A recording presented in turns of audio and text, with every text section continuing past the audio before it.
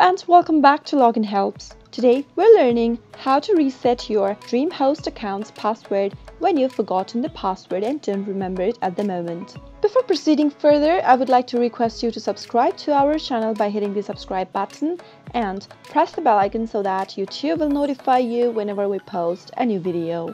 In order to reset your password, go to your web browser, open any web browser you have and search for dreamhost.com and enter. In the official website of DreamHost, click on the login button at the upper right corner and as soon as it opens, in the sign in box, enter your email address in the first field. On the next field, when asked to enter your password, since we don't know what the password is, simply go and click here to reset and on the next page you'll need to enter your email address in order to reset your password. Make sure to type in the correct email address and click on reset my password. After you do that, a link will be sent to your email address. Simply go check your email, click on the link and you'll be able to create a new password for your account.